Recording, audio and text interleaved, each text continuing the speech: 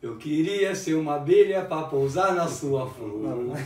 Haja amor, haja amor.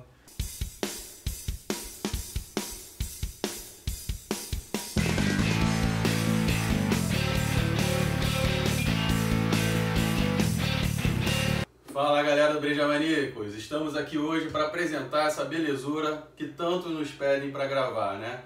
É a Colorado Apia. Então, a gente tinha o modelo dela em garrafa e hoje em dia já- a gente está encontrando essa belezura aqui, cara, nos É. supermercados. Tendência, né? É, rapaz, bem bonita, hein? Então, Renato, você que comprou a cerveja aí, quanto foi a lata dessa Apia? Então, eu peguei uma bela promoção no Preso Nick, Legal. mercado aqui do Rio de Janeiro. O lugar é do Preso Nick, pode ligar pra gente. hein? R$3,99, Pô, bom ótimo preço, Bom preço. packzinho, veio com 6, R$3,99 a unidade. Trouxe só três pra gente? Não, tem mais aí pra beber depois. A Colorado que é uma beer seller, É. sempre mandando belas cervejas. Promete aí, ela é muito bem falada, eu nunca bebi. O, o, o Apia vem do latim que é mel. É uma cerveja de trigo com mel. A primeira é, cerveja brasileira a levar mel em seu ingrediente. ah, legal. É isso aí. Mel de flores de laranjeiras. É, nossa, cara, que né? romântico. Hum. Então vamos, vamos abrir essa, essa, essa aí. Lembrando também que esse preço que você pagou é um preço promocional, né? A média dela aí é 6 reais pra galera não achar que é um preço É, fixo aí. Tem uma coloração dela, parece um mel mesmo. É, né? aquele amarelo escuro justamente Ela tem a pelo mel, né? Pode ser pela É, presença do mel. né, cara?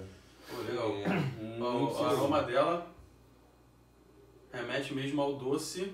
Tem o doçor. É, e, Mel. cara, que é proveniente, Proveniente do do mel. mel. Esperamos que seja, né? É, Vamos beber para vamos ver. beber. É. Saúde.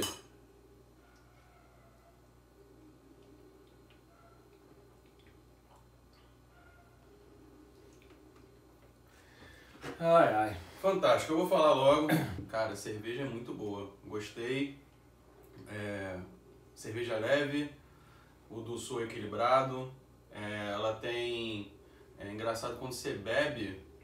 Eu não sei o teu alcoólico dela, a gente não falou. Olha, que erro, hein? 5,5. 5,5. Olha. É engraçado. Quando eu bebo, eu sinto um calorzinho, cara. É isso mesmo. Né? Ela proporciona um calor. Cara, muito bacana. Cerveja pra mim, nota 9, cara. Valeu aí, Colorado. Cara, é, vou falar agora. Essa cerveja, eu, sinceramente, eu já conhecia, tá? Eu só queria saber a diferença da lata e a, e a, e a garrafa. Eu sou, pra mim, uma das melhores dentro do, do, do estilo. Eu adoro essa cerveja. O que você sentiu assim, eu, eu sinto como uma refrescância, cara. Ela refresca bastante essa cerveja. Pô, O aroma dela é delicioso. É, ela, ela é, é refrescância, mas tem um calorzinho que é proveniente do Do álcool, álcool, né? é. Até porque fica mais pesado por causa do mel, né? Do açúcar do mel, né? Pode ser. esse álcool mais forte. Pra mim, como eu. Pra mim é nota 10. Pra mim a cerveja aqui não, não tem igual. Eu, eu adoro essa cerveja. Cerveja boa, é como falaram aqui, meus amigos, do sor proveniente do mel. Se você não gosta de mel, não gosta do sor, não vai gostar da cerveja. Se você gosta de mel, você vai gostar da cerveja. Se Porque você ela- gosta de cerveja de trigo, você vai gostar É, cerveja. porque ela é o seguinte, é o que a gente muito avalia aqui, custo-benefício que a cerveja entrega. Ela entrega tudo, tudo que ela diz, ela entrega. Colorado mais uma vez acertou em cheio nos paladares aí de, de- que a galera gosta. A nota é 10, a harmonização dela, a gente sabe aqui, ó, a gente harmoniza ou por contraste ou por semelhança. É. É, no, no, no site da Colorado, alguns sites aí, eles estão indicando sempre um frango, uma salada e um queijo, um queijo mussarela, ou seja, uma cerveja leve com prato leve, aí a harmonização por semelhança. Mas se você quer meter um pernilzinho também pode, aí vai no contraste e vamos Exatamente. que vamos, galera. É, pessoal, lembrando aí dos nossos patrocinadores,